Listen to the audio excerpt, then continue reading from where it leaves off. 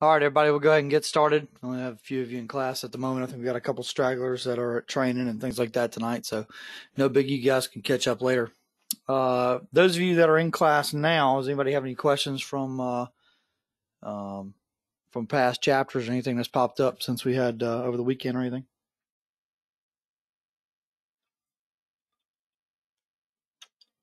No, not really. Okay, good deal. Uh, like I said, just uh, give you guys an opportunity to to uh, to bring up anything. But uh, again, if you have any questions throughout it, just pipe up and let me know. Um, so tonight, as you can see, we're going to be talking about poisoning and substance abuse. Uh, something we see a pretty good bit, unfortunately, in this in in our area. So, um, you know, it's something that more than likely, sooner than later, you're going to uh, you're probably going to experience. And uh, like I said, it's unfortunate, but um, you know, we do see it quite often. So.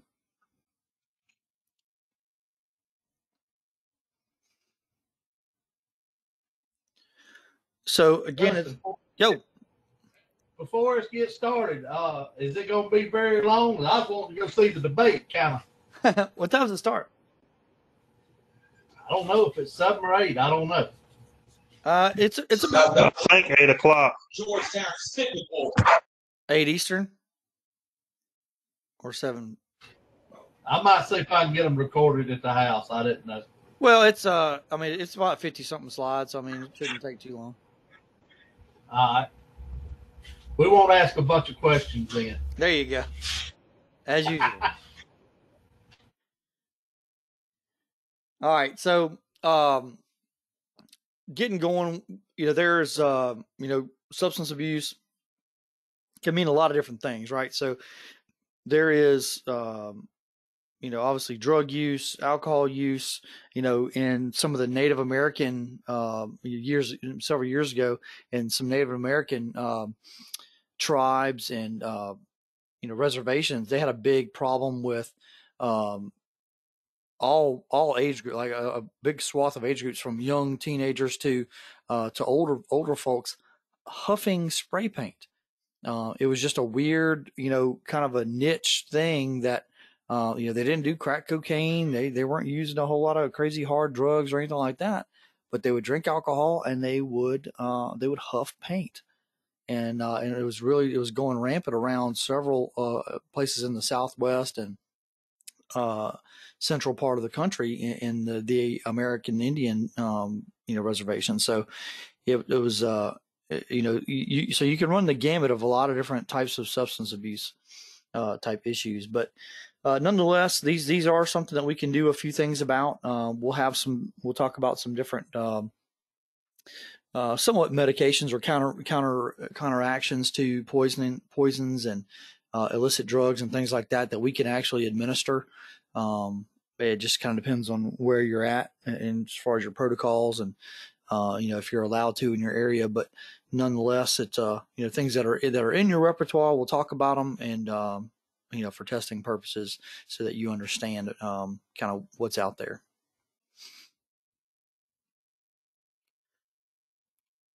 So poison can be classified according to the way the poison enters the body. Okay. So obviously we have what we refer to as routes of exposure. And one of those would be ingestion, obviously through the mouth, uh, being absorbed into the digestive system.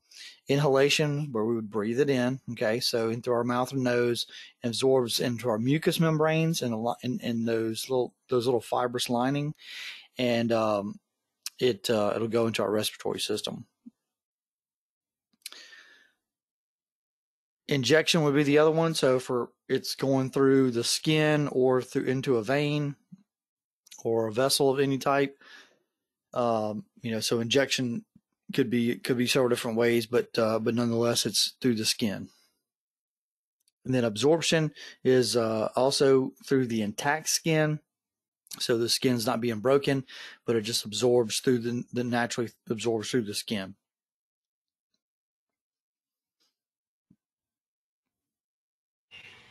Like fentanyl, it can be absorbed, right? Right. Yeah. Well, it could be both. So you can you could uh, you could be uh, absorbed through the skin, but you could also, um, if it's if it's aerosolized or if it's in a fine powder, uh, you could also inhale it. I've heard you could also, if they were sweating or whatever, you get their sweat on you, depending on how much possibly. Yeah, I mean I might- that have to be because usually by that time it's it's already kind of circulated through the system, and you'd have to you'd have to have a pretty pretty strong amount of it uh, for it to do that.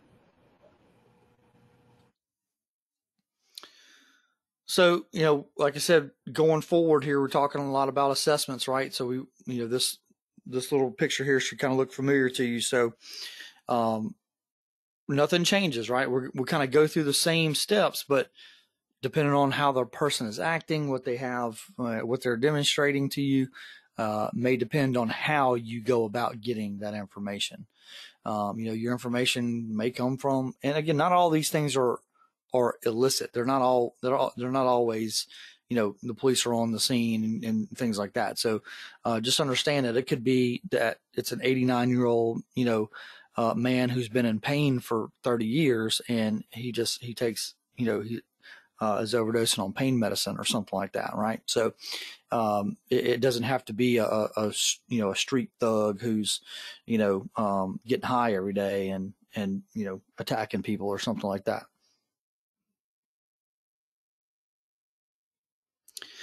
So again, we follow that general patient assessment. Um, you know, we we may have to get because a lot of times it does. Uh, a lot of these things do affect your central nervous system, and so a lot of times they're not really with it. They're kind of incoherent a lot of times, and so we may have to use bystanders, law enforcement, you know, dispatch, you know, things like that to try to get some more information. Um,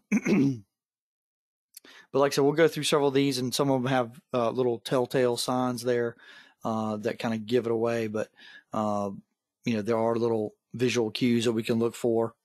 And um, again, much of this stuff depends on the patient's signs and symptoms. Like I said, you know, it, it really just kind of depends on what it is, uh, what the poison is, or what the um, illicit drug is, or something. Then and how they how they're going to present themselves.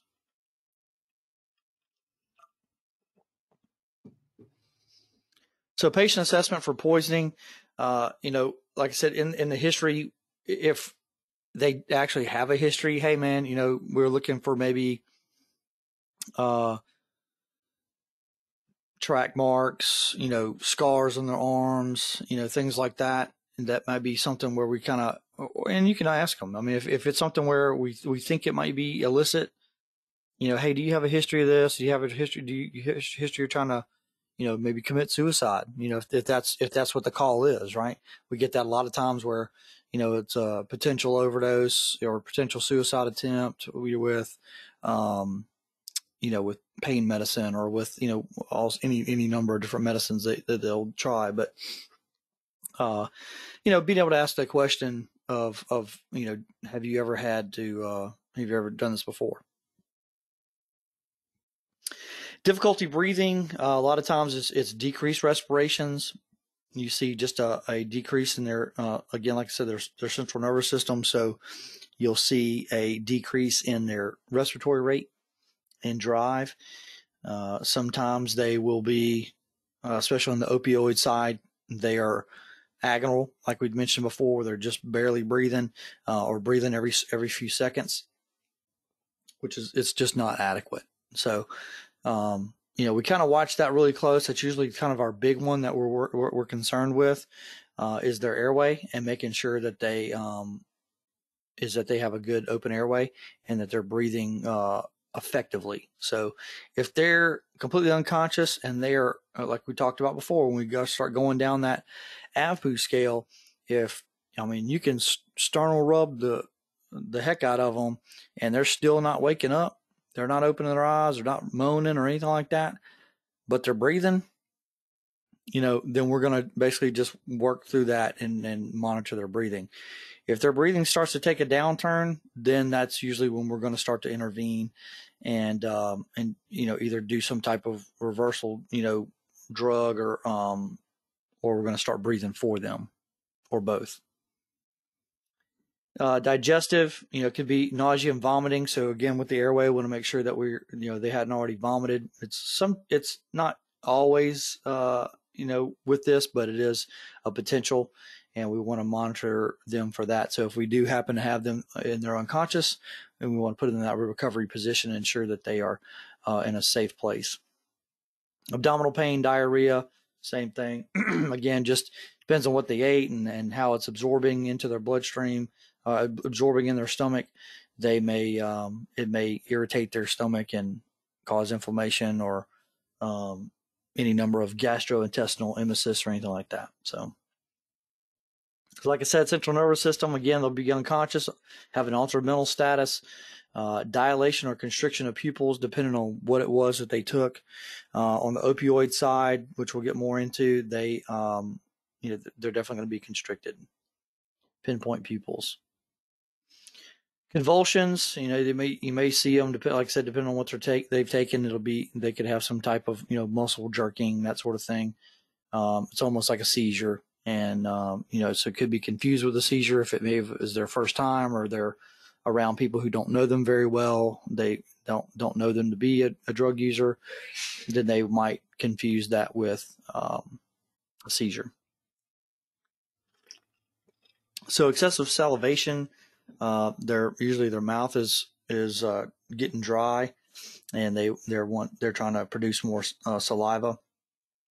Sweating and just in general uh, rise in body temperature is another one um, you know, that we look for. Cyanosis, that, um, you know, that bluish tint to their skin uh, or ashiness uh, to their skin, and we're, we're looking for that. empty containers at the scene. Obviously, if we have pill bottles or uh, you know empty you know needles or, or syringes, anything like that, uh, we're looking around for those types of things to just kind of help piece together the puzzle. So more than 80% of all uh, cases of poisoning are caused by ingestion. And again, it's just they took too many pills. They, they, you know, um, and it, again, it doesn't have to be illicit. It could be accidental poisonings where they, um, you know, could be a child that um, ingested something from under the under the sink, right, where we keep all our cleaning stuff. Uh, they got in there and and uh, got to it and, and drank it. So looking for stains around their mouth, you know, burns, you need like chemical burns around their mouth, anything like that potentially. Um, you know, think you know the odor coming off their breath. So little things like that, just check for. Look, you know, take a little bit of a, a closer look at your patient, and, and and be be on the lookout for those things. Again, nausea, vomiting, abdominal pain as as some signs and symptoms to be looking for. Again, if they're especially by ingestion, it's not going to react usually very well with their stomach, and their, the body is going to want to get rid of it some kind of way. Later stage, maybe diarrhea, uh, abnormal decreased respirations, loss of consciousness, and then uh, also seizures.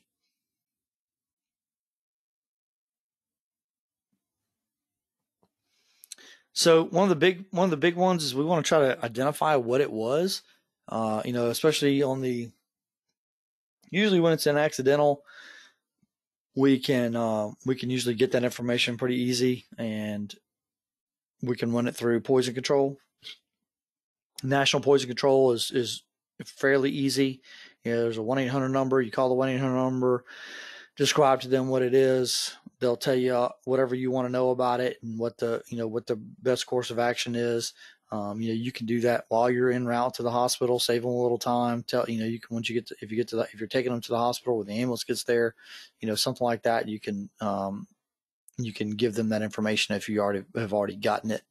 Uh, you don't have to wait until they get there in order for them to call and all this other stuff. Um,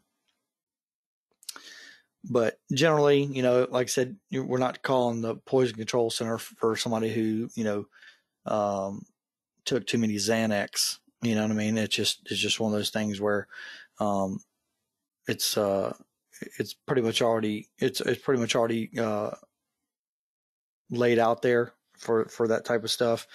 Um, it's more so for the things that are on the um, commercial market, and that that usually that's what they're going to usually give you the most information about. Uh, arrange for pump transport to the hospital. That's always good. We want to try to get them there as soon as we can and um, and let them either uh, pump their stomach or give them some type of uh, you know reversal uh, drugs or or something like that or something to make them throw up. You know something of that nature. one of those would be activated charcoal. Uh, again, this is one of those where we're going to talk about it in class. You need to know it for for testing purposes and what it is and what it does and all that sort of stuff. Uh, but generally, uh, you're probably not going to be the one one of the ones that does it. Uh, you're gonna the paramedic usually on the ambulance is going to be have the protocols in place to do that. Uh, so at the first responder level, it is in your skill set, but it's not something that you're going to usually do very much, and more than likely it'll be uh, outside out of your scope um, in by the next edition of this of this type of course. So, but essentially, it's a finely ground powder mixed with water, uh, and so uh, just like it says, it's activated, and so you have to you have to mix it up, and uh, it binds with the poison kind of at a at a smaller level, uh, and it prevents the poison from being absorbed into the patient's digestive tract. Okay, so it just it grabs a hold of it and kind of creates a barrier around it, and and then it, uh, it'll end up um, you'll end up either vomiting it or or passing it and uh, you know through the bowels and that sort of thing. um, we try not to give them if they've had some type of acid, you know. So if it's um, if if it's some type of acidic or alkal- alkaline alkaline alkaline material, um, we don't want to give it to them. Uh, a base as well. So if you have a strong acid or a strong base, we don't want to give it to them. And of course, we're not going to give it to them if they're unconscious because they don't they're not able to swallow. So uh, we don't want to you know compromise their airway. So continue with activated charcoal. Uh, usual usual dose about 25 to 50 grams for an adult patient, and uh, 12 and a half to 25 grams for a pediatric patient. Uh, so it, it's usually like I said, it usually comes with like a little cup and everything else, and you can drink it through a straw or it's if you try to drink it, it's best to drink through a straw because if not, it's going to turn your teeth black. Um, so just to kind of save them a little embarrassment or whatever, you know, try to use the cup. Um, just follow the follow the directions on there, mix it to the correct dosage, and like I said, it comes with the cup, and you measure it and make sure that you're giving the right the right dosage, and um, and that way you can um, you can administer it appropriately, and um, like I said, I mean either way, their their tongue, their mouth, everything's going to be black for a while, so.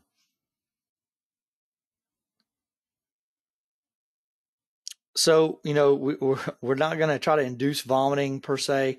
Um, we, you know, on, on, the on the upper level, we we have they've had things called syrup of ipecac, uh, which is something to induce vomiting.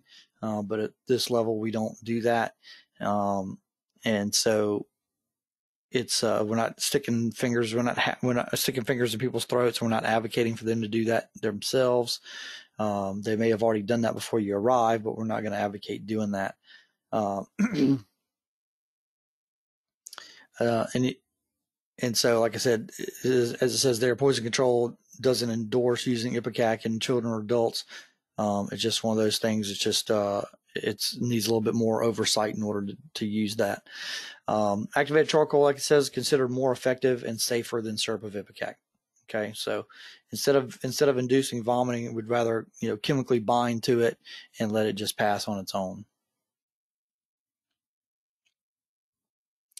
So inhaled poisonings uh, occurs when a toxic substance is breathed in, absorbed through the lungs, uh, and again, like I said, I mean that could be uh, like I think it was Charles was talking about earlier about you know fentanyl or whatever. There's you know there's things that come in different states. So um, it could be aerosolized or it could just be a powder that we inhale. Uh, so that uh, it just depends on, on what form it's taken on at that time, but it may be, essentially be the same thing.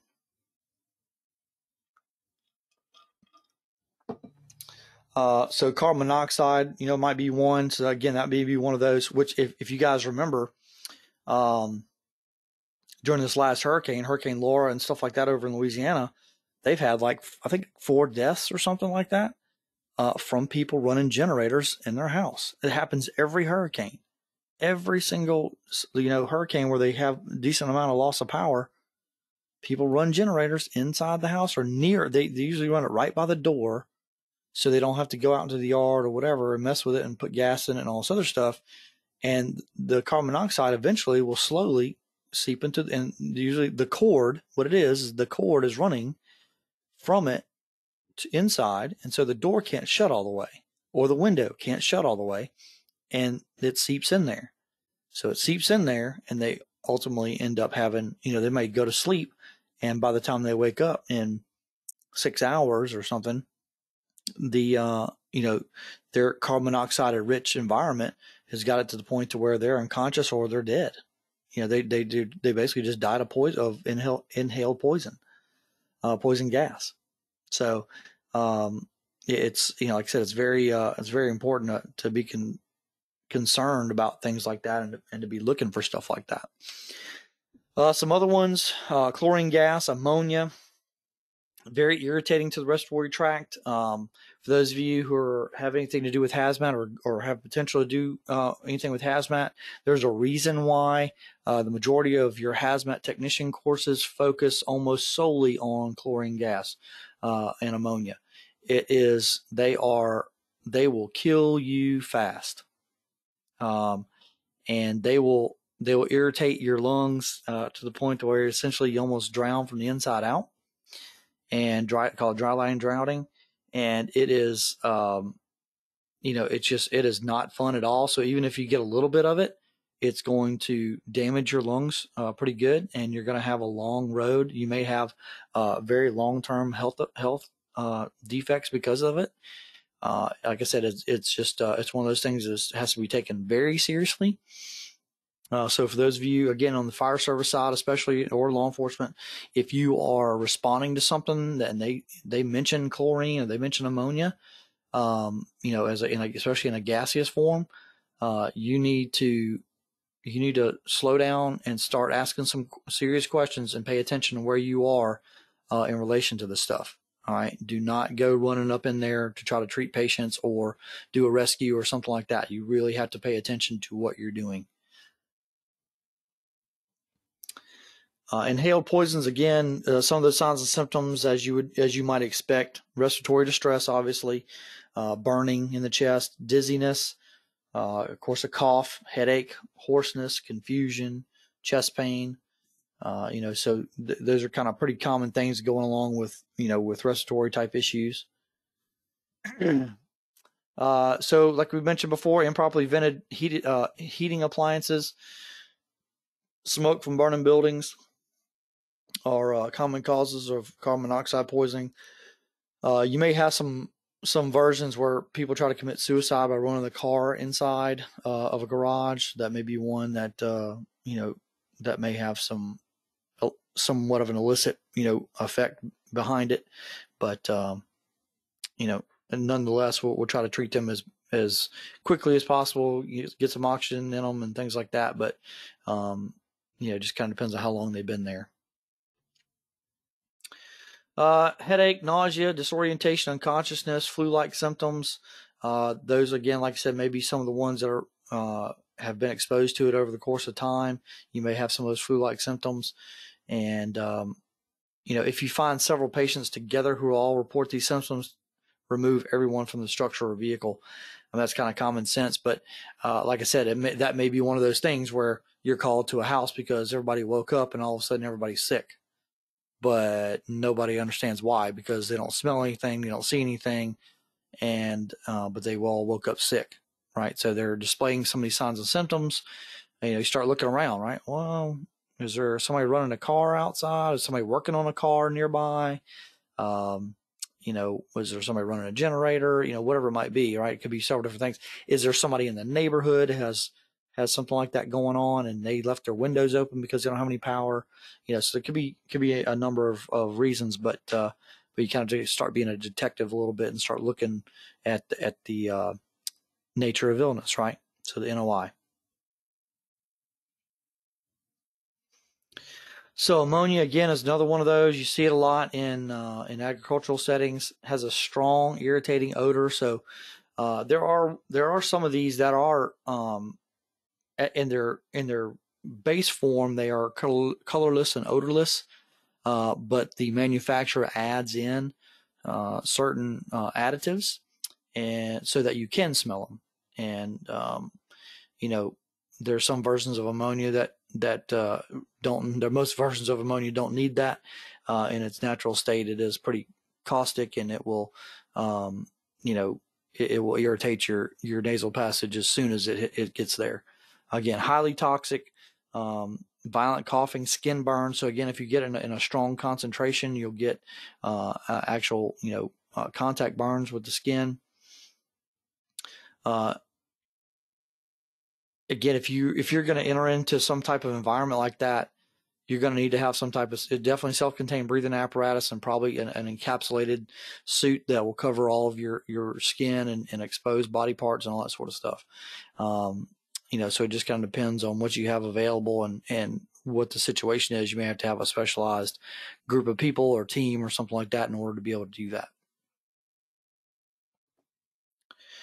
It was it was pretty big. Uh, anhydrous ammonia was really big uh, several years ago when certain types of methamphetamine production was going on. That was a big uh, precursor uh, chemical in uh, methamphetamine manufacturing, and people were going around stealing farmers anhydrous ammonia. So we actually had one. A guy and his buddy were um, out here on Highway 26 at a fertilizer place, and uh, actually not far from my house right here. And they um, they tried to uh, break into a high pressure um, tank and fill up a bunch of small bottles with anhydrous ammonia to go back and make their meth. And they um, it, the valve failed on them and ended up spraying one of them like right in the face or something. I think he died, and um, the other one was severely burned, uh, had, uh, you know, you know, skin burns, and then um, his airway was also compromised, and he was uh, had severe breathing problems and everything else. We ended up, I think, we ended up flying him out or whatever. We had Highway 26 shut down all night, and it was it was a big deal. We had you know had to have a hazmat team and all sorts of stuff. We had to evacuate a small area because uh, some of these things are low lying and they'll kind of hug down to the ground. And so uh, we were concerned about it getting into people's homes and air conditioning systems and all that sort of stuff.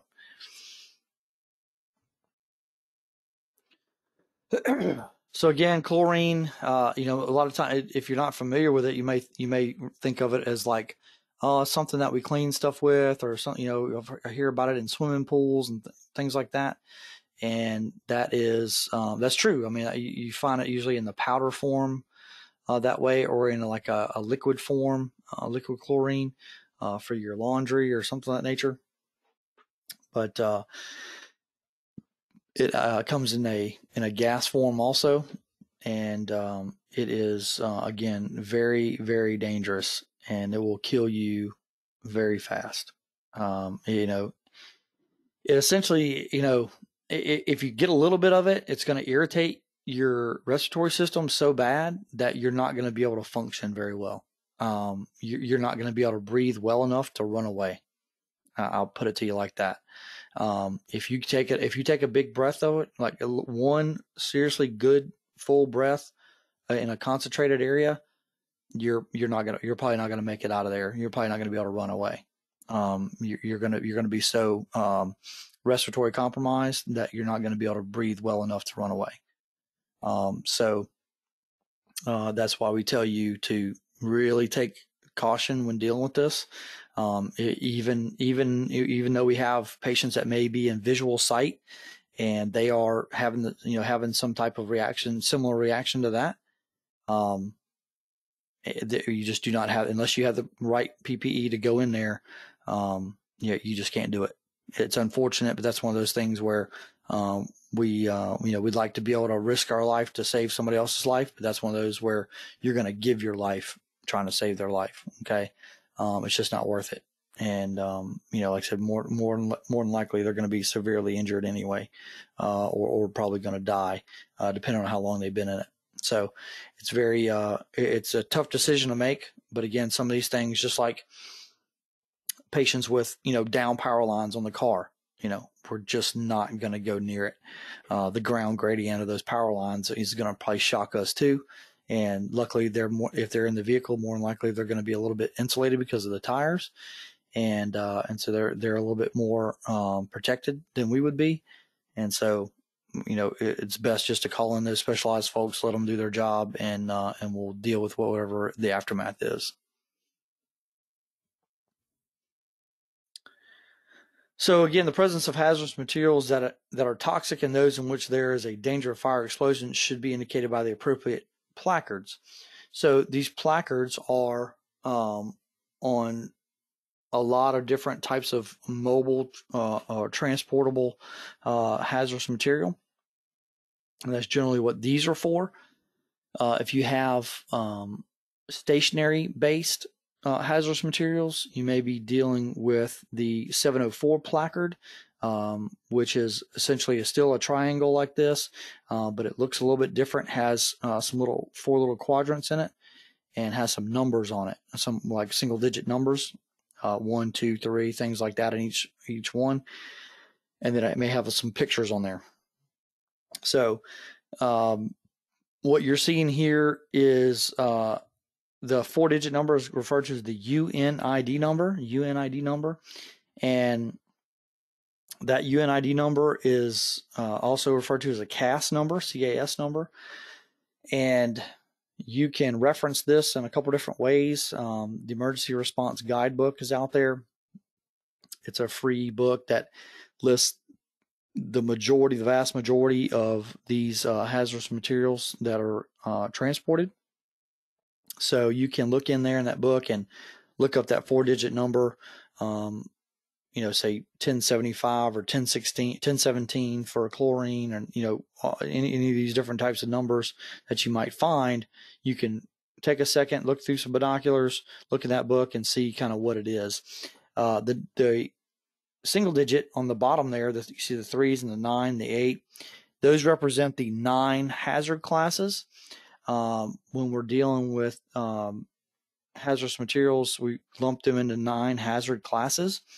So, uh, you know, it's uh, number one would be explosives, and then it kind of goes into flammable liquids, flammable solids, um, you know, uh, alkalines and corrosives and, and several different things all the way all the way down to even miscellaneous where it's just kind of generalized hazardous. And it's not really specific um, in the nine hazard class. So um, but each one of those numbers like i said represents uh, something that you can research and even the colors kind of correspond. So obviously the red is something flammable. You see the flame there flammable uh, so that's one of those that we can kind of research. You can look at it, even just just visually looking at it, you can tell the one with the black and the the uh, you see the little beakers, and that's a corrosive, right? So if you research a little bit, do a little training on it, uh, it doesn't take much. You can look at those and go, okay, that's a corrosive. I don't know what kind of corrosive, I don't know what it is, but I can see it's a hazard class eight,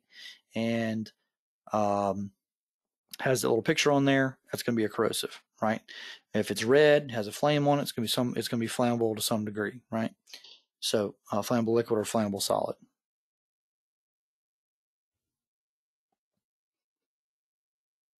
So inhale poisons, you know, uh, a lot of times we want to. The biggest thing is just to get them out of that area, so get them to a better uh, atmosphere. Uh, usually, a more oxygen uh, rich atmosphere and and we want to just try to remove whatever that source of that uh, inhaled gas or poison is. And once we do that, usually their patient will start to improve to some degree. Uh, but nonetheless, um, if we we're going to do our assessment as we normally would, we're going to check for uh, airway, breathing, and circulation, and making sure that we have a good patent airway, and um, and that we the patient is breathing adequately. Um, so, and if we if they're not, then we're to be able to, we're to start breathing for them, right? Uh, a lot of times when we're doing that, we still want to try our best to administer a uh, high flow oxygen. Again, regardless, we want to try to find out what it is. So before we leave the scene with our patient, we want to make sure that we kind of have a general idea of what what it was. Okay, it's it's pretty important uh, that they know at the hospital what uh, what it, what generally it was, and if you can find out what specifically it was, that's great, and uh, and that'll make uh, their treatment a, lot more um, concise.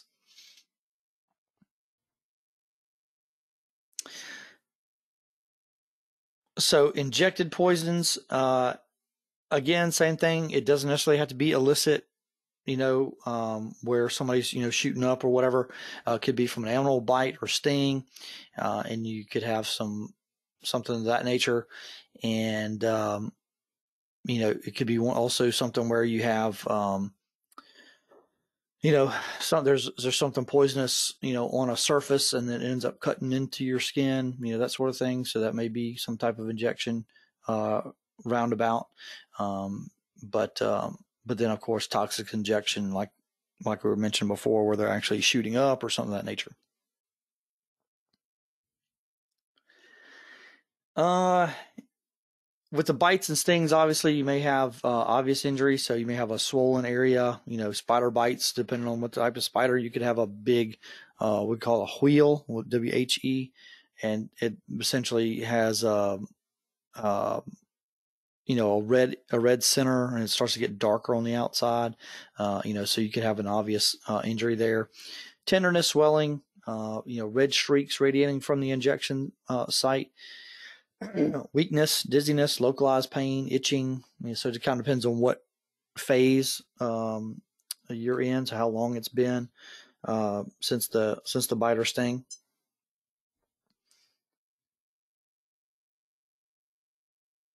Again, a lot of times these you know take they take a little bit. They have to get into your bloodstream and actually you know go to your brain or go to your heart and things like that in order for it to uh, to start really taking effect. So um, other other than just the actual you know pain at the site. But uh, so it may take a second for for some of these effects to kick in. But uh, if we can, try to wash the site with soap and water. If there's a stinger there, try to remove it using. Um, yeah, obviously you want to have your PPE on. You don't want to get you know that stuff. You know you don't want to inadvertently stick yourself with it or have it get on you. So um, a lot of times you take a, a kind of like a a little piece of uh, like a tongue depressor or or um, uh, tweezers or something like that, and and just kind of scrape it out, and that will um, you know help to also remove some of that. Sometimes it's still after even after that stinger is left in there, it is still producing some type of um, uh, venom or poison or something of that nature. So.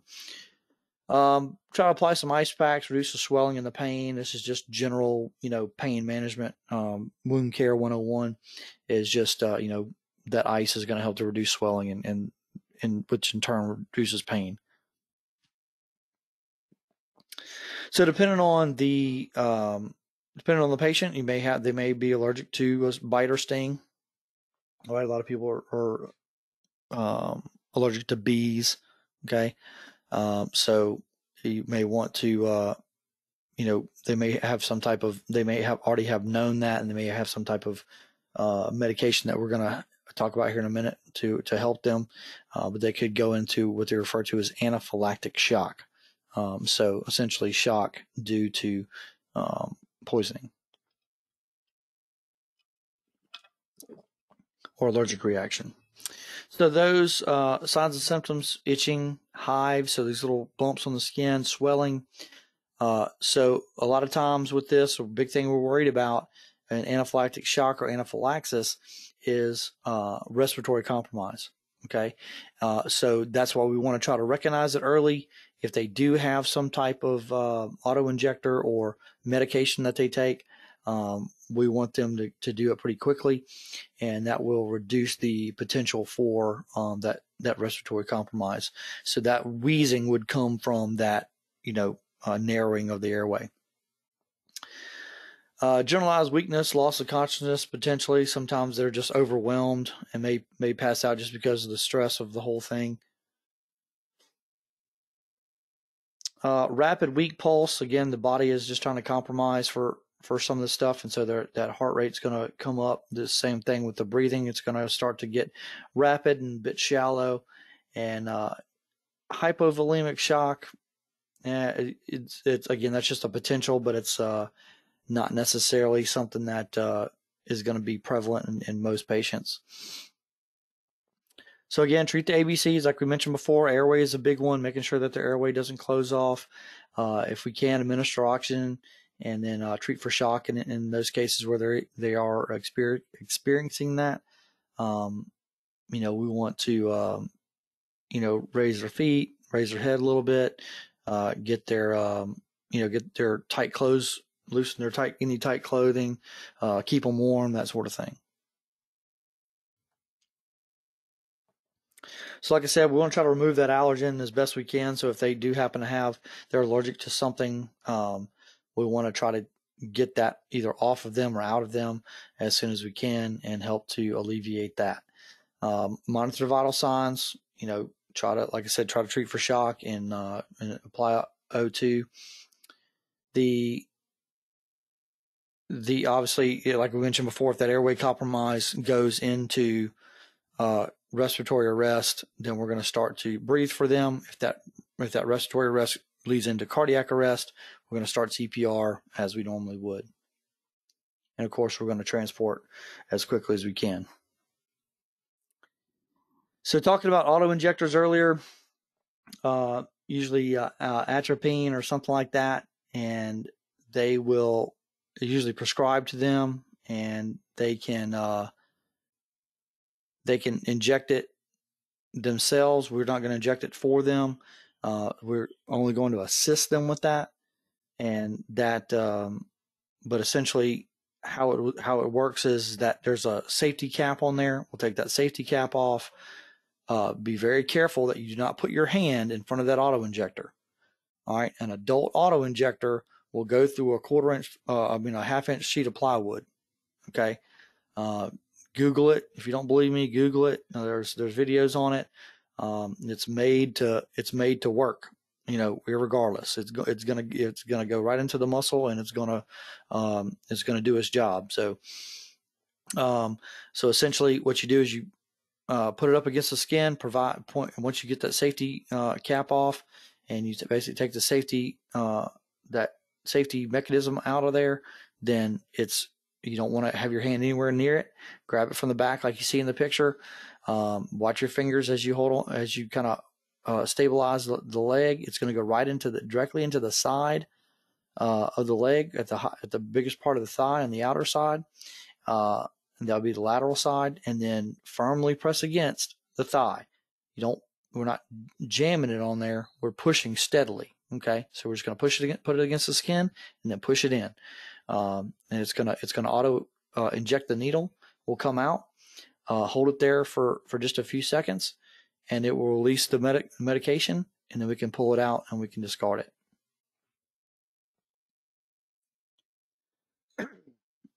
So talking about snake bites, uh, four kinds of venomous snakes in the United States: rattlesnakes, cottonmouth, copperhead, coral snakes. You know, there's several different versions of these. You know, it's good to you know every now and then look over some of these just so you have an idea what what they look like. You know, if you've grown up around the South, you more than likely have uh, have probably you know heard some different little ways of telling the difference between coral snakes and and other snakes, and and uh, same way with rattlesnakes. And so it's just one of those things where you know it's not a bad part of your repertoire. Just you know if you're an outdoors person or um, or, or, a medical provider, you know it's it's just good things to know. So a snake injects its poison to a person's skin and muscles with its fangs. Okay, so it's kind of like that auto injector goes in and it just it just uh, it'll it'll pump for uh, quite a while. You know, so uh, but it doesn't take much.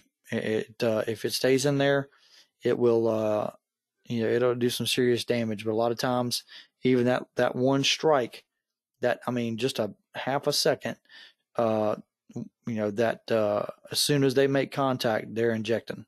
Okay, so it's a it's a toss up how much you're going to get injected with, but um, you know you can get a, little bit or you can get a lot, and uh, either way, it's not good. Obviously, you're going to have immediate pain at the bite site, swelling and tenderness around the bite. Uh, again, just fainting. Some people just faint from the sight of, of a snake or, or from being bit. Uh, they think they're going to die. Uh, sweating, nausea and vomiting, shock. Again, some of these are nausea and vomiting, usually late stages, and the shock as well. Uh, so if if the if it is more of like a neurotoxin, it will, you know, it will start to kind of have a, a pretty adverse effect on your uh, on your body as a whole. You know, you're you're going to get cramps, you'll get, like I said, nausea, vomiting, shock, sweating, things like that. Uh, blurred speech, a slurred speech, paralysis potentially in that area, coma, seizures.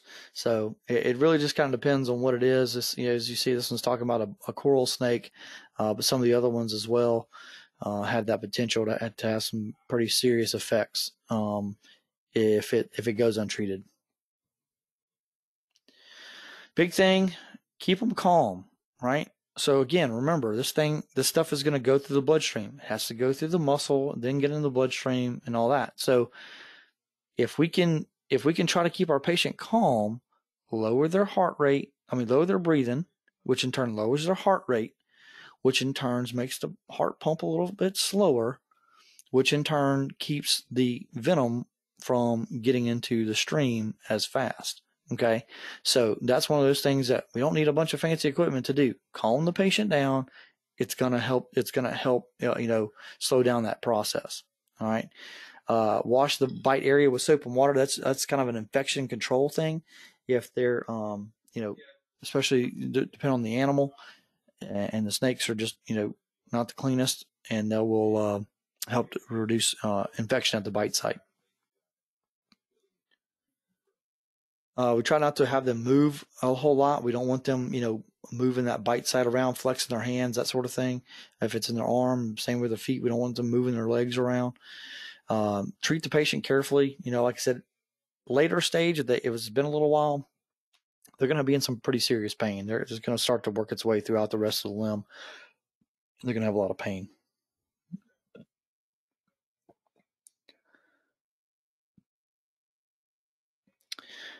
So absorbed poison. So you know, poisons, like I said, that's just going to kind of go through that porous, you know, skin the virus, and um, it's uh, it's going to you know soak through there, and a lot of times, you know, like like you said, there are some illicit drugs that that may may, may do that. Uh, insecticides, toxic industrial chemicals uh, are some of those that you know just in the right concentration uh, it's it's going to potentially you know burn our skin or and get absorbed into it, and uh, it may take a little while, a little bit longer. This is probably one of the longer um, routes. The other thing, like if you think back to CPR, uh, we talked about medication patches. So somebody having a medication patch on their chest for uh, pain or smoking or something like that, they, um, you know, that is a what they refer to as a transdermal um, medication patch. So that medication gets into this gets into the skin, you know, through that absorption process. So if you're not wearing your gloves, or if you're not careful with what you're doing with it, and you, you know, all of a sudden it sticks on your arm or something like that, you have the potential if you leave it there long enough for it to for you to get a little bit. And there have been cases where people have done that, and you know, 15 minutes later they're having a headache because they got a big dose of pain medicine that they didn't need, you know, and so now they have a headache or they're they're nauseous or something like that. So traces of powder or uh, skin on the uh, liquid on the skin and inflammation or redness of the skin. Uh, some of those other signs and symptoms obviously are the actual burns themselves to the skin, uh, skin rash or redness, burning, itching, nausea, vomiting, dizziness, and shock. Um, you know, big thing is you know copious amounts of water. Um, if if that's all you have um, if you can if you can brush it off brush it off. But again make sure that you are having you have something on there. Uh, you know it says like it says contact with water may activate the dry chemical and result in a burning reaction. Uh, again the only thing the only thing that i'd tell you is if you wash it it needs to be washed with copious amounts of water not just a splash or a wet rag or something. You need to like turn the hose on it okay um, and really and really wash it off. Um, that way, it completely gets rid of it. Um, and like I said, is there wash the patient completely for at least 20 minutes. So it needs to get again a copious amounts of water. Uh, but again, for these dry type things, we prefer you to try to brush them off uh, instead of using uh, just light water or something of that nature.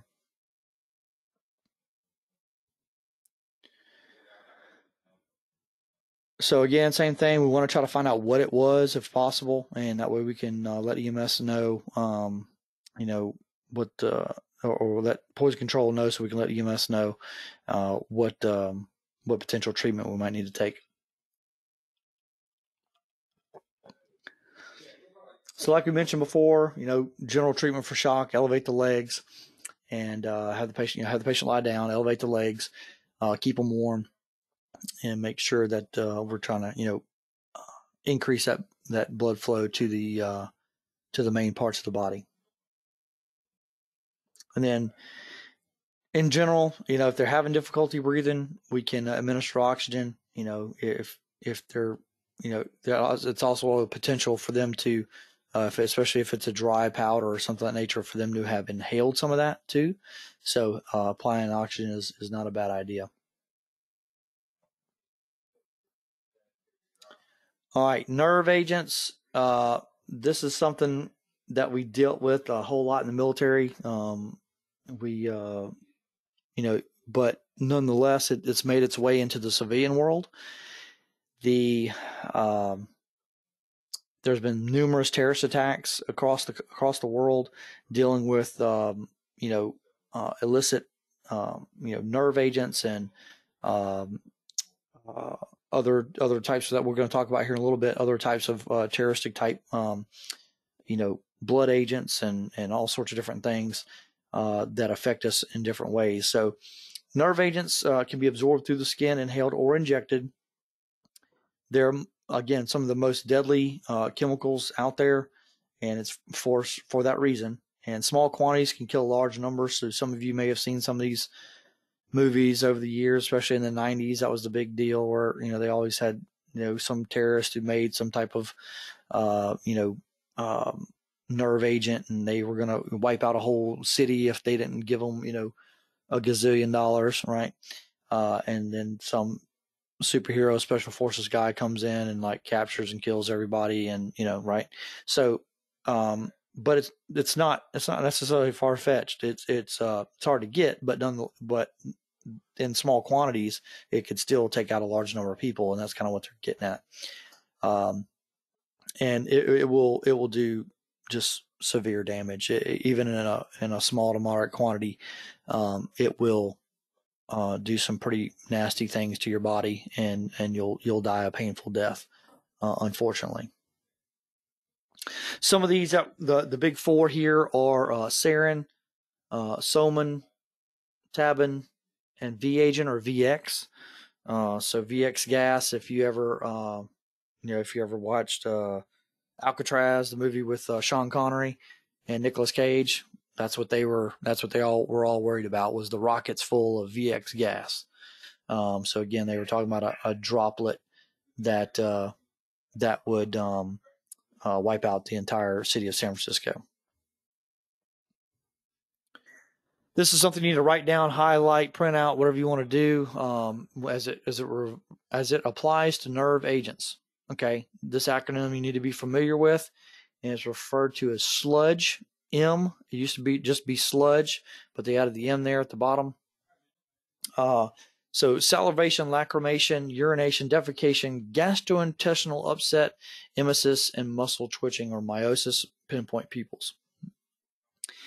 These are essentially the things that uh, that kind of show themselves at different stages uh, after being exposed to um, nerve agents. Okay, and ultimately it's going to it's going to get in there it's going to like it says there it's going to kind of block off those receptor sites of the nerve and not allow them to have the transmission to the brain uh, that they should.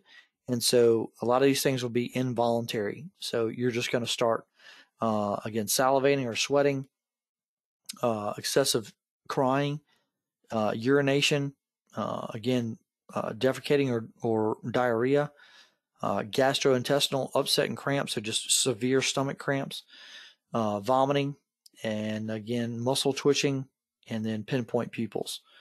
So, again, one of those deals where uh, hope you're not in the environment that they're in. You need to get them if they're been exposed to some of this stuff. Uh, you really need to protect yourself, and you need to uh, ensure that you get them out as soon as possible, and uh, that they are don't take any of that stuff with them. All right. So this is definitely a uh, hazmat type uh, team type response uh, to something like this. And you're going to need to get them cleaned off, hosed off, uh, decontaminated as soon as possible. Again, uh, this is some of those for organophosphate poisons, and those are generally some of the same ones. Uh, as you can see there, it says paralysis, uh, loss of consciousness. All these uh, late stages are going to have paralysis and loss of consciousness. Uh, nerve agents, you know, organophosphates, any of those are going to have are going to have. You're going to go through that almost through that whole realm of um, of issues. And again, it's not it's not nice at all. Okay, I, I don't know how to how else to put it to you. It's uh it's just a it's a very very bad time for your patient. Uh, you know, like I said, like like I mentioned to you before, well trained hazmat team is going to have to be in protective clothing to usually to remove these people and get them to you.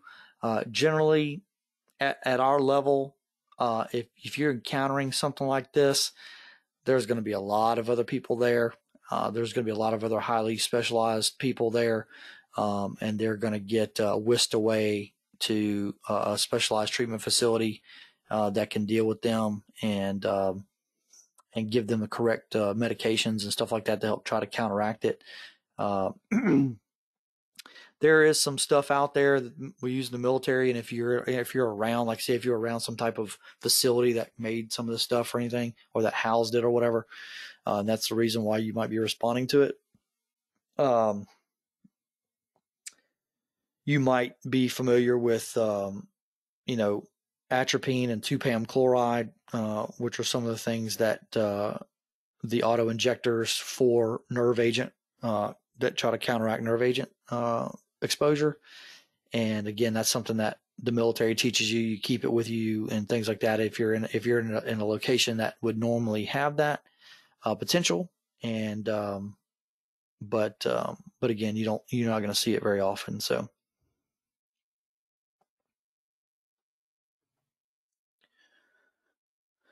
Like I mentioned before, um, the uh, ABCs, uh, you know, so again, if for some reason you are you are having a patient like this and and, and you're with them for any amount of time, uh, biggest thing is just keep yourself protected, keep your patient protected, uh, get them cleaned off, get them out of that area, and um, and then if if they have uh, a nerve agent antidote kit, which is what I was just talking about, um, atropine and 2-PAM chloride, then you will um, you know they'll you'll either assist them with administering it or you may uh, you may have to administer it yourself. Just depends on the situation. But generally again like i said if you're in that environment you'll you will have probably already trained on be trained on how to uh, administer those. It's a multi-step process.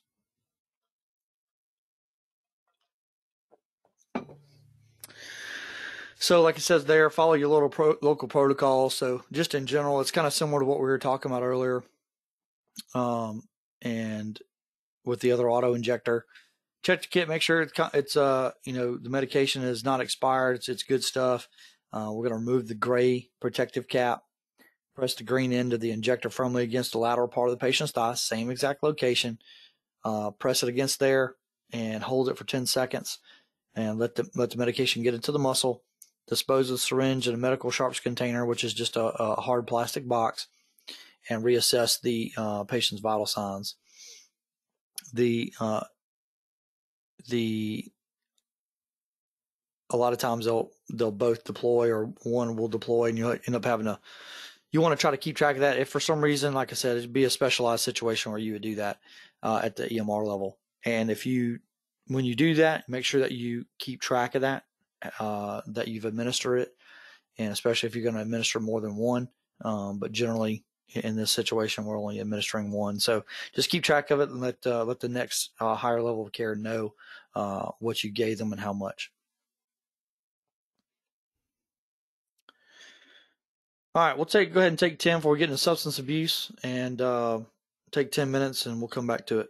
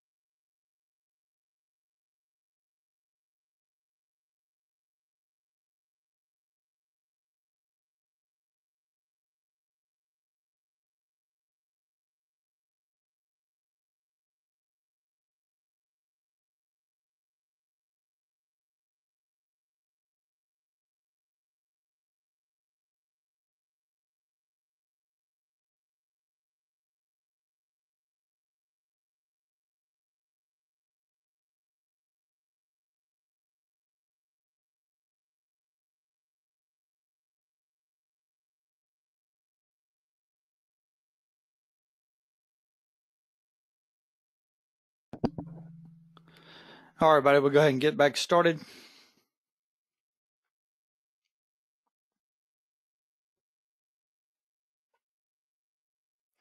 So, going into substance abuse, so we kind of talked a little bit about uh, some of these things here and there um, tonight, but uh, we'll kind of get some of it a little bit more specifically. And that's substance abuse. So, again, that's something where uh, somebody is abusing certain things. And like I said, it could be anything from, you know, um, over the counter medications. It could be, uh, you know, like I said, spray paint. Uh, you know, some people will um, abuse, um, you know, different types of, like I said, over the counter type uh, cold medicines and things of that nature. Um, uh, you know, all the way up to, you know, crack cocaine and heroin and methamphetamine and all these other types of drugs. So, uh, you know, it is a it is a big problem. It's a it's, it's an epidemic of its own uh, for for quite a while now uh, in our country and in, and across the world. Alcohol is one of those. Been around, obviously, been around a long, long time uh, in, in, various forms, long before um, you know Anheuser Busch or, or any of the, the big name companies have, have been around. Uh, you know, alcohol is there. Um, so, and, uh, you know, in it, in its general form, it has, you know, great, uh, medicinal properties as, as a, you know, as a cleanser and, you know, to, to clean things, you know, we've been cleaning our hands with it for the last several months now, uh, habitually, uh, with some form of alcohol you know? So um but in its you know consumable format it's uh you know again also uh has its has its issues. So uh that's one of those things that it, it's in, been involved in a lot of different things uh, when it's been abused obviously um so everybody has their own stance on alcohol use but abuse obviously is not uh, not something that um you know should be tolerated but it's uh you know, significant number of traffic fatalities, murders, suicides, uh, you know, accidental deaths, and all sorts of different types of things that have been associated with it. so if you take that, take medical, I'm sorry, excuse me, take alcohol and you mix it with other types of medical uh, illnesses or severe injuries, and you can um, exacerbate, you know, uh, your your symptoms um, even more. So some of those some of those things that you're dealing with may be kind of masked by that and and you're not really gonna you may not you may not get a, a, a good exam or a good history uh, because of that. So uh, it's important to take your time be patient and uh, and kind of work you know work around uh, these people that are that are intoxicated. Uh, again alcohol is an addictive depressant drug. Um, persons physically dependent on alcohol can develop severe withdrawal symptoms uh, so again, that's not your average recreational, uh, have a few beers kind of kind of person. Uh, you know, we're talking about uh, severe symptoms, delirium tremors, uh, which you may have heard is called DTS, and um, you know they they seriously just like any other drug addict, they need they need it. They need that that consumption for them to to you know what they feel like would be re- to regulate themselves. Uh, again, a lot of different, a lot of different versions of signs and symptoms with each from people that are in DTS, um, and shaking, restlessness is you know pretty common. Uh, usually their uh, mannerism or their, I'm sorry, their um, their the way that they deal with it will change. So a lot of times they'll get aggravated, uh, mad, upset, that sort of thing. You know, if you're trying to keep it from them and uh, keep them from from uh, you know getting to it. Uh, you're gonna you'll have them um, generally be in some uh, some type of you know excited state.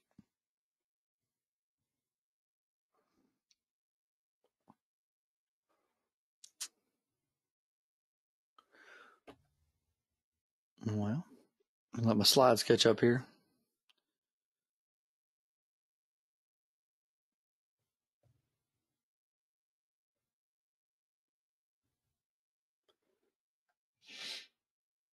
There we go.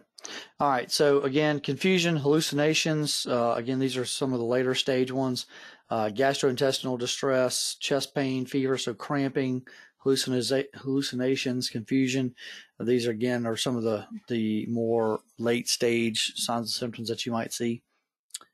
Uh, again, it's it's a it's a serious medical emergency. Once it gets to that point, you know, it's not just oh he needs a drink and and he needs to get over it, you know, whatever, uh, or she, but it is. Uh, but in turn, it it has started to take a multi-system effect on the body. So it's obviously affecting the brain, uh, which is then then going and uh, affecting uh, gastrointestinal, you know, uh, chest pain, all these, uh, you know, several different uh, facets and areas of the body. So it's it's important to get them to um, get to some treatment and get them to get them to a hospital.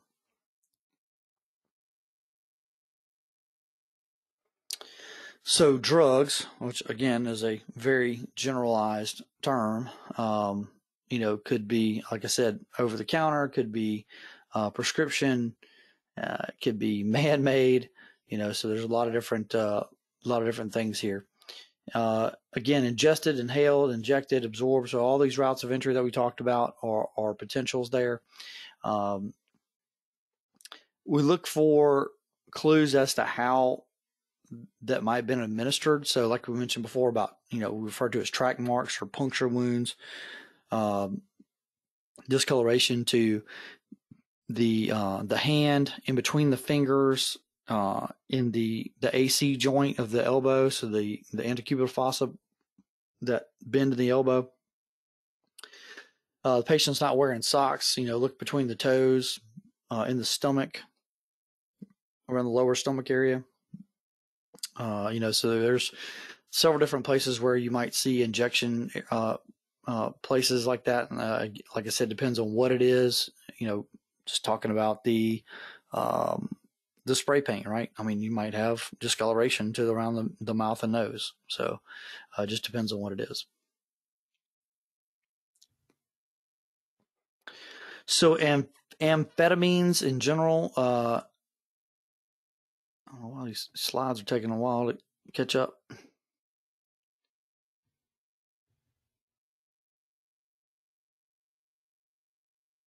Bear with me, folks.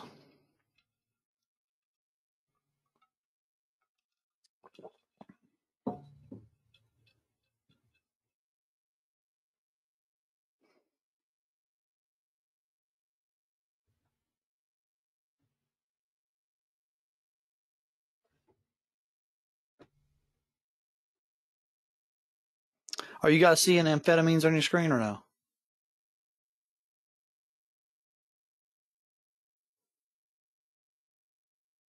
Yeah, I see. Uh, it says drugs two of twelve, amphetamine, stimulants, central nervous system. Okay, all right. It's just not showing up on my on my other screen here where, where it says you guys can see it. So anyway, uh, so amphetamines um, uh, stimulate the, the stimulates the central nervous system it goes by a lot of different names. Uh, there's even more out there now. Uh, ice, crystal, cocaine. You know, there's there's again, like I said, several different names out there for them, slang street names. Um, restlessness, irritability, talkativeness. Um, it, it's, I mean, I see it almost daily. Uh, unfortunately, in, in, our county, the county I work in. So I mean, I, I've, I literally I see this almost daily. Um, and it, it, once you once you know these signs, you can pick it out. You know, in a snap of a finger. Uh, you know, it doesn't take you about thirty seconds, and you can you'll you'll you'll be able to tell. So um, the you know one of the biggest things is trying to keep them calm and keep them from harming themselves. Um, you know, or, or other people, you know. So, like I said, their their restlessness can be through the roof, and irritability and stuff like that. So, it's one of those things where you really kind of have to just keep them calm. Don't focus on talking about, you know, what they took and all this other stuff. But, guys, hang on one second.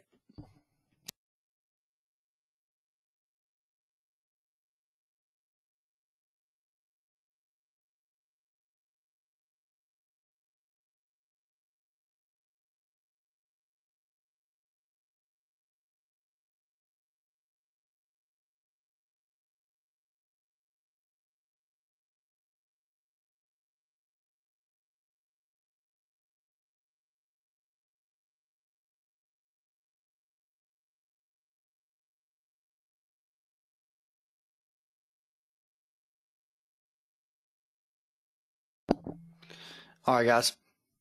So, you know, some other things to think about too is that the some of these things have been around, you know, amphetamines in general, uh, like I said, it's kind of a generalized term and incorporates a lot of different things. And there's, you know, there's stuff out there that was over the counter that was had a little bit of amphetamine in it.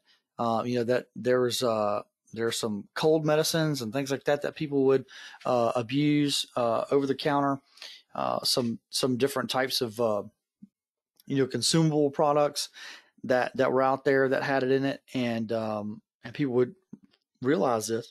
Excuse me, realize this, and end up using it for. You'd have college kids who would use it to try to stay awake so they could study and things like that uh, truck drivers and and and you know um, people that that work the night shift to try to stay awake and all this other stuff, and ended up they ended up abusing it over time because they they realized that it gave them other effects that uh, that made them feel good. You know, so um, so these those types of things uh, can come in a lot of different forms. So pain relievers or opioids, you, you heard me talk about that earlier, uh, and heroin. Uh, so hydrocodone, oxycodone, morphine, and codeine. Uh, so oxy, oxycodone, also referred to as oxycontin, and uh, just another uh, name for hydrocodone might be Vicodin. The uh, the opioids that we see, like you know, we talked about fentanyl earlier, and heroin. Uh, sometimes they're they're kind of go together, and they they're they're obviously you know like again another one of those epidemics like we mentioned before that's uh, all around the country. And uh, you know they are definitely prevalent in our society right now. And i can tell you again just from my professional background that they're it's alive and well uh, right down the street from most of us um, and good nice normal people and you know street thugs and, and criminals and everything else like that as well. So um, don't think just because you're going to a nice neighborhood and a nice house that you're not going to be that you don't have the potential for this. Okay, um, and that's with a lot of things. You know, that's with organized crime. That's with drugs uh, of many types. You know, um, you know, and, and, several other different types of criminal behavior. So there, uh, you know, don't uh, don't put the blinders on when it comes to stuff like this. Uh, want to try to be objective and and try to you know be impartial and that sort of thing uh, while we're dealing with our patients, but just understand and make sure that you are watching your back. You have you know you have uh, people there supporting you and making sure in law enforcement and all that sort of stuff. So signs and symptoms for opioid drug overdose. Uh, slow, difficult, shallow breathing. Like I said, if it is an actual overdose, um, you will generally have that uh, slow, difficult, uh, slow and shallow breathing for sure, and sometimes no breathing, uh, depending on what how much they took. And uh, small or pinpoint pupils. That's one of the uh, a very telltale sign that we look for. weak pulse, low blood pressure, bluish nails and lips are, are a pretty common one that we see. Uh, drowsiness and disorientation, again, another one that kind of goes with the shallow breathing. Uh, we see that quite often. Uh, usually one will ro- roll into the other. So they'll be kind of drowsy and won't wake up and that sort of thing. And then they'll, that will progress into shallow breathing, slow breathing, no breathing. Uh, delirium and coma, again, usually late stages. Uh, and usually when they've had something that's been laced with something else, an opioid drug laced with something else that has a kind of a bad reaction to it, and it it uh, hits them a little bit harder than than normal. I can tell you what I see most often is that they will overdose. Um, they will generally uh, what will appear to be stop breathing uh, to to most normal people, and then they uh, which will just be really shallow breathing. And we get there, and uh, they are uh, alert and oriented to painful stimulus uh, or no stimulus, and so they're fully unconscious, and then they will, but they're still usually they're usually still breathing to some degree, and we sit there, we monitor their breathing, and um, you know, a small percent of the time they need to be they need an oral pharyngeal airway and a bag valve mask, and generally that uh, respiratory um, once we start to breathe for them uh, a few times, that generally will spark their respiratory drive back, and they will uh, they'll start breathing back on their own. And usually, shortly thereafter, once they get a little uh, oxygen in their system, they will um, they'll come back around. And uh, you know, I've had a Narcan several people, but they generally uh, a lot of times they'll come back out of it. But like I said, it's not. Don't take that to be um, the case with with every patient. That's just one of those things where uh, that's what I've seen more more so in this area of how it happens. But um, but I've also had, to, like I said, I've had we've had to bag mask people, we've had to intubate people, do CPR on people, Narcan people, all this other sort of stuff. So, um, so on that, talking about Narcan or naloxone is the actual name of it of the drug. Um, Narcan is just kind of a trade name that you see. The um, it's generally for for a long for a very long time since since literally maybe two years ago. Um, it was a very regulated drug, just like anything else. Uh, it was only given by the paramedic uh, or the doctor at the hospital, and um, and is essentially helps to rapidly reverse the effects of the opioid drug for a short period of time. Okay, let me stress that for a short period of time. So um, the essentially the receptor site it will that drug will help to get uh, cover that receptor site so that that the drug doesn't uh, get into that receptor site uh, and affect it and that will that kind of helps protect it and um, generally when you do that uh, they will literally uh, within just a maybe a minute or so minute to two, they will come right out of whatever they have going on.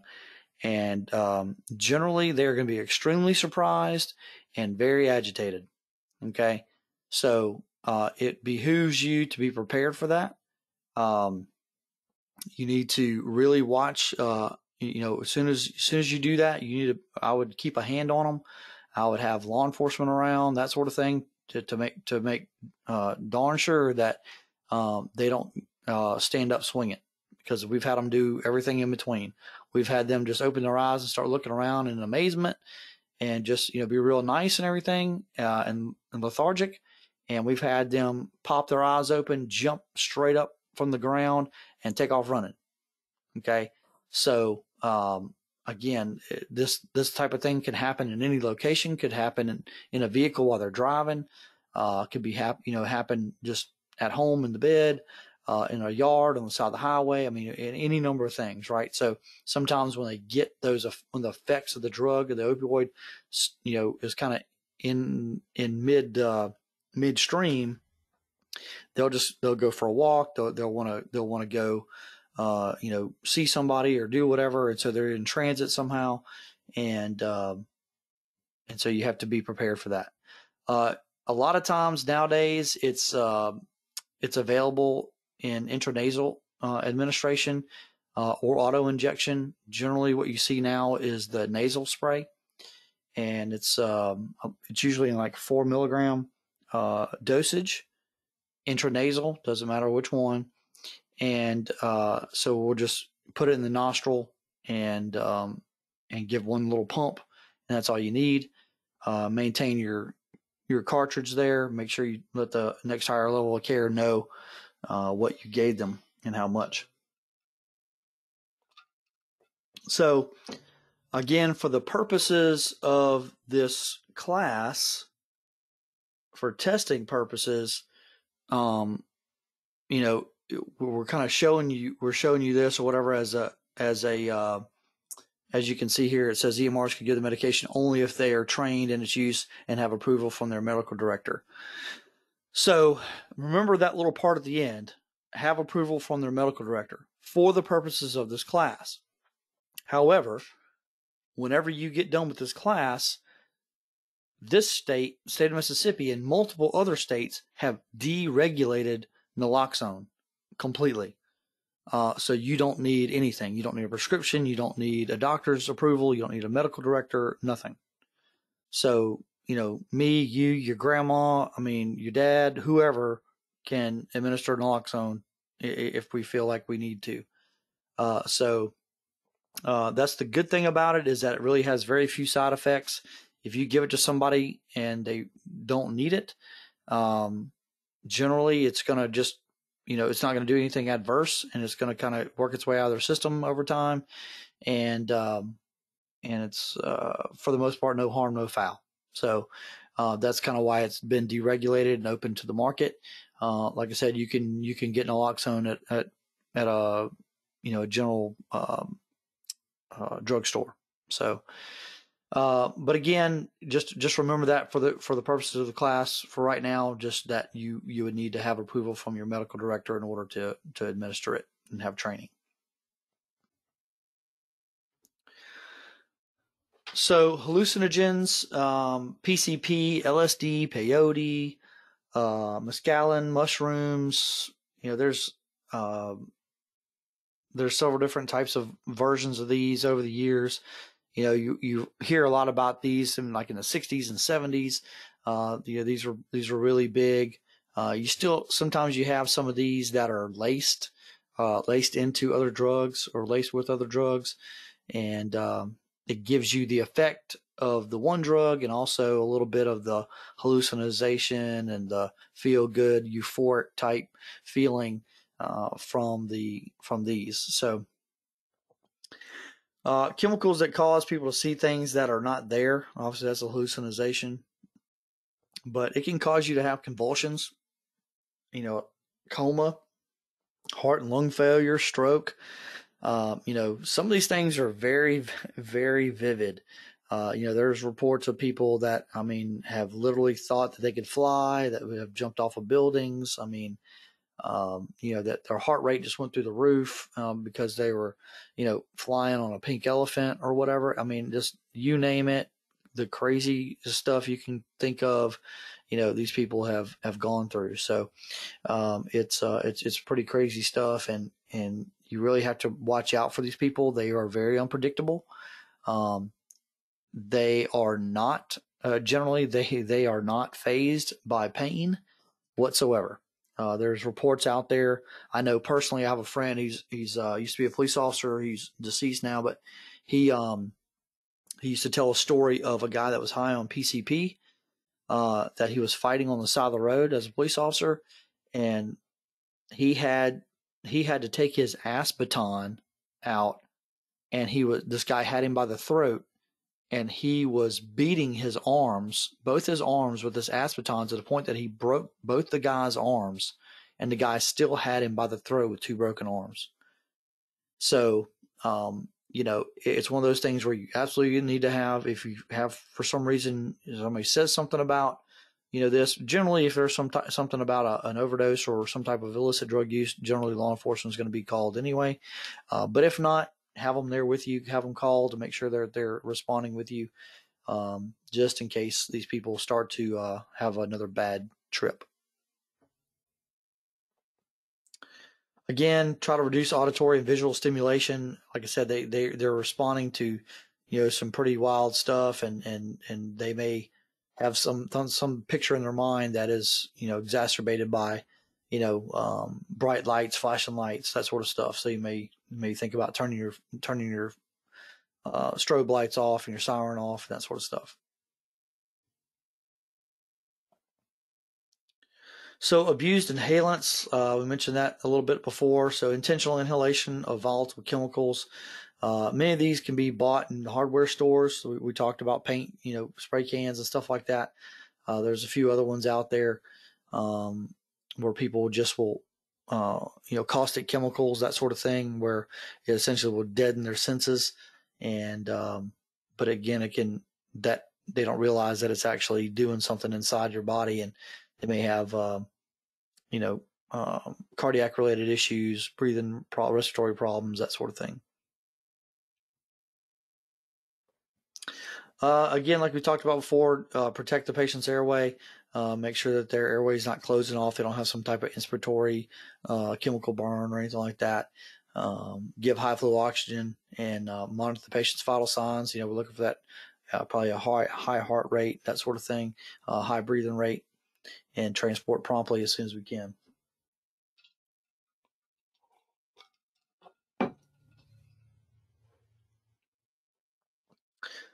So toxic injections from drugs, like we mentioned, we mentioned this before as well. It's it's really kind of dependent on how much you get. Just kind of like a snake bite. Right? It kind of depends on how much you get um, and what the drug is.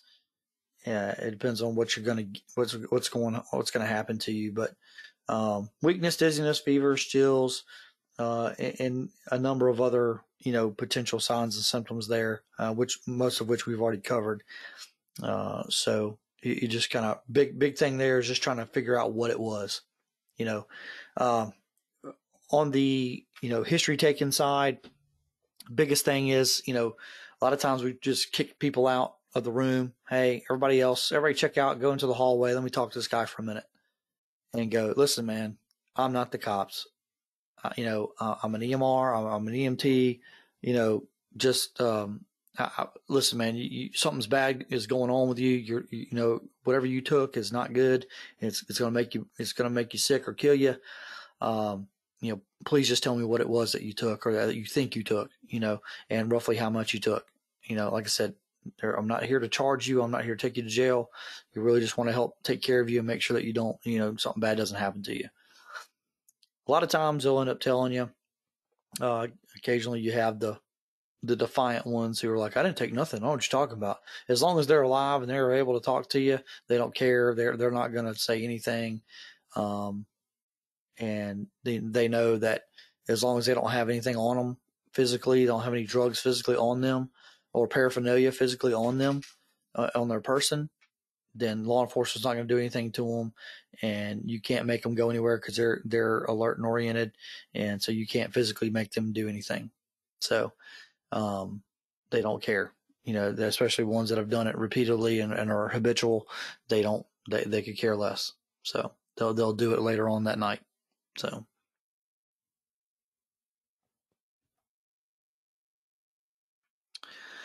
So, like I said, general, just in general, drug overdose, um, you know, basic life support, like we mentioned, airway, breathing, circulation, looking for, uh, you know, the breathing pattern, see if it's, uh, it's consistent with what we need to, um, uh, you know, to be able to support oxygenation throughout the body, right? Um, we try to, like I said before, you know, during that time, we're like, look, man, you know, whatever you got going on, we're not here to judge you. We're just want to help you. So reassuring them, you know, hey man, just let me let, us take you to the hospital. Let's you, you, know get things checked out, see what's going on with you, and um, and that sort of stuff. Again, it's 50-50 whether or not they'll go with you. Uh, again, if they've already overdosed and they're alive, uh, or if they're awake, then generally they they they could care less about going to the hospital.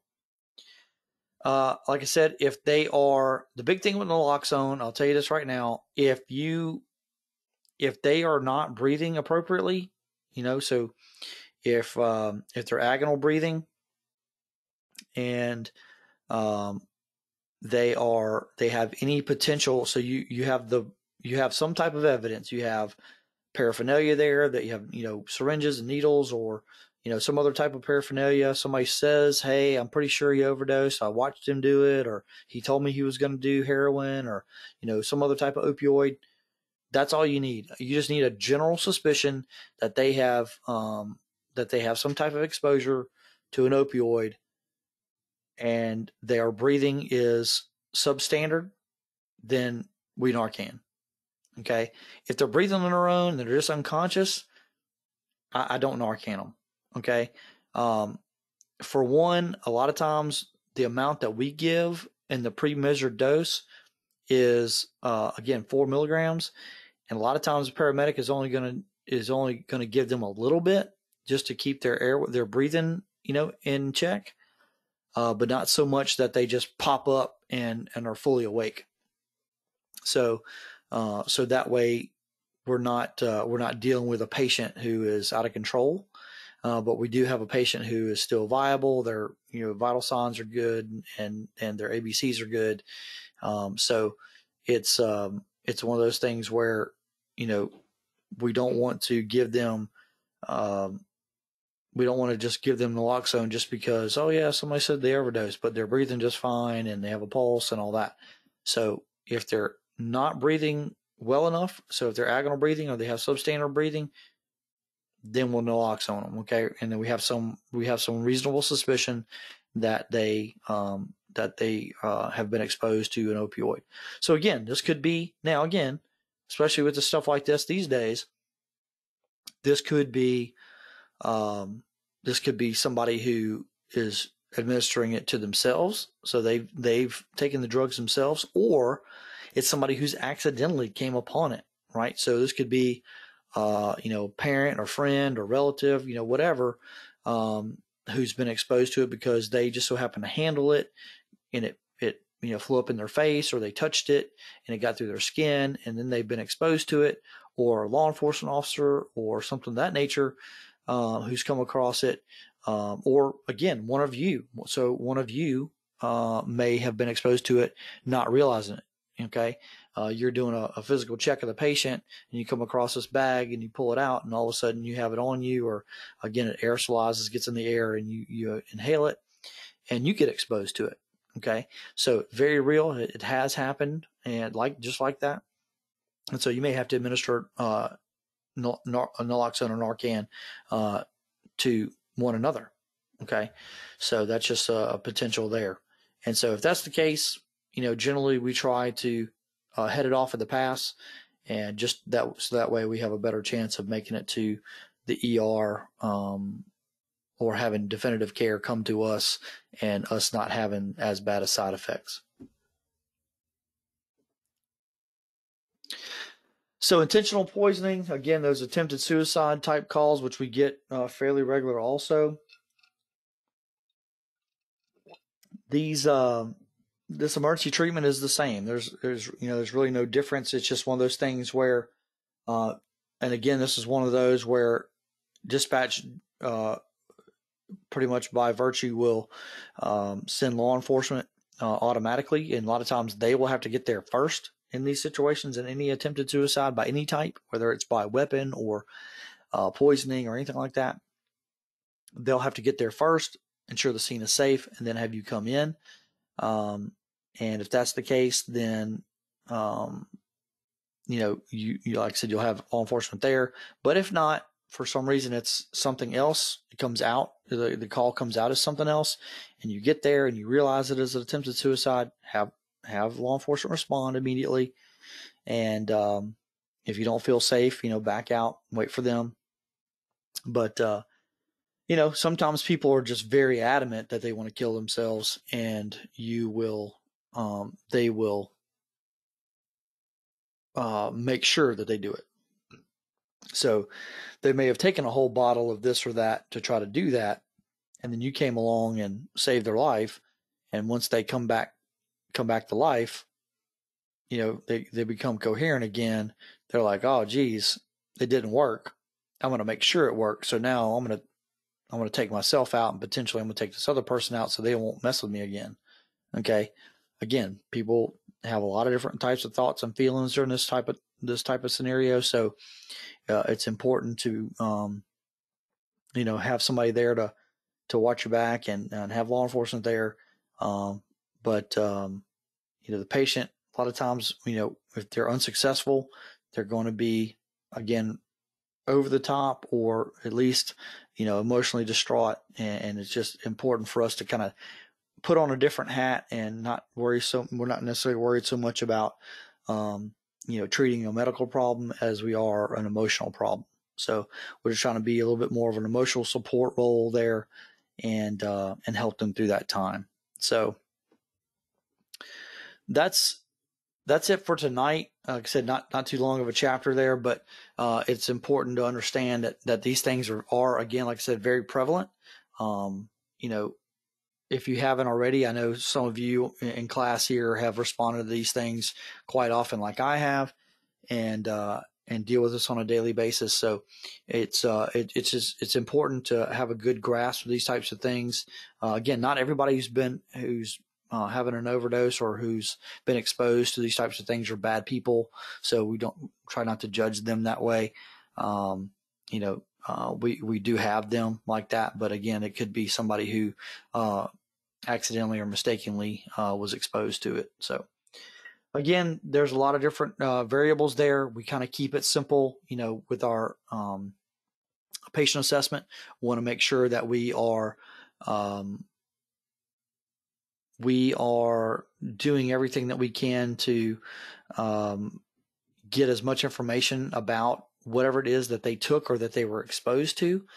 Um, you know, whether it's a hazmat scene or whether it's an illegal narcotics, you know, overdose or anything like that.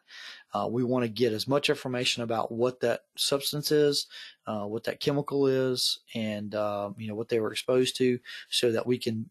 That's really going to what helps drive that patient care um, is knowing that information. So, uh, being a good detective and, and asking them good questions and and uh, kind of getting down to the bottom of it um, is going to be very helpful.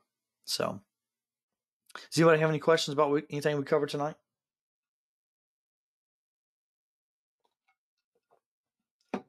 Last number. Yeah.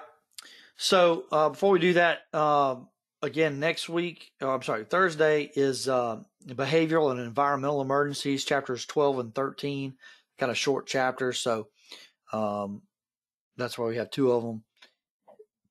It's uh, again, like I said, I know I, I, looked at the grades earlier. Everybody's doing doing fairly well. Looks like you're kind of getting back in the swing of things. Uh, I know notice a few of you have two or three uh, outstanding quizzes. So again, please try to get in there and get caught up. Um, behavioral and environmental emergencies kind of some of that kind of plays into some of the things that we've already talked about. Uh, kind of expands on some of the things that we've discussed in medical emergencies. Um, and so we have several different things coming up trauma, uh, you know, muscle and bone uh, injuries, you know, pediatric emergencies, geriatrics, you know, things like that. So, uh, a lot of a lot of good content that we have coming up, and, and like I said, I want to make sure that you guys are caught up and that you are, um, you know, focusing on um, focusing on the, the stuff that we have coming up and not having to backtrack and try to relearn stuff from before. So, um, the class number for tonight is uh, R, as in Robert, zero zero zero eight. R zero zero zero eight. Uh, again, like I said, if you guys have any questions, concerns, comments, or whatever, please reach out and let us know uh, how we can help you. Um, you know, if you're not understanding something or or anything like that, we'd be happy to uh, happy to talk about it. So, if nobody has any other uh, pressing issues, y'all have a good night.